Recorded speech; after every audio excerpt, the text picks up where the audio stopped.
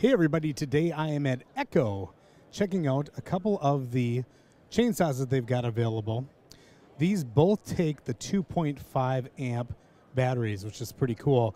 Uh, we've got the DC, uh, yeah, DCS 2500T. That's that guy there.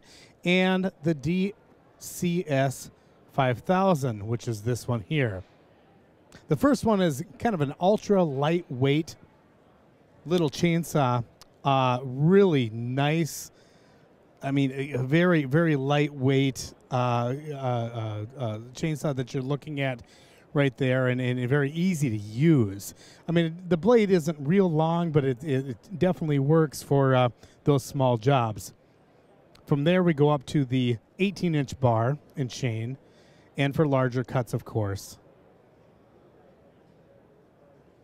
The battery and charger are included with both of these, and they are really nice little machines from Echo. So check out more information at echo-usa.com.